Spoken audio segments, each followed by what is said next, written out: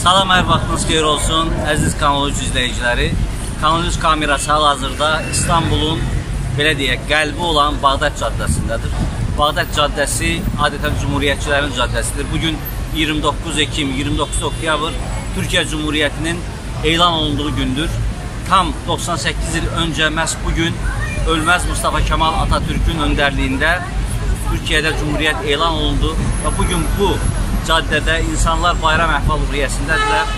E, elə mən də e, dəyərli dostumuz, Azərbaycanda tanınmış qələm ustası jurnalist Aynur İmranla bu bayramda İstanbuldakı qardaş və bacılarımızın sevincinə qoşulduq. Bizimlə olun, bizdən ayrılmayın.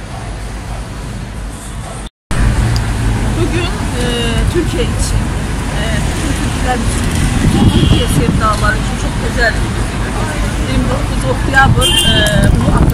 Cumhuriyeti ilan edildi ve her il olduğu gibi bugün de Türkiye'de çok özel değil olmuş.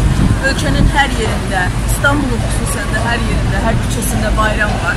Evlerden, binalardan, resim kurumlardan, e, pencerelerine e, Türkiye bayrakları asıldı. Herkes e, küçelere çıkıp birbirini e, tebrik e, edir.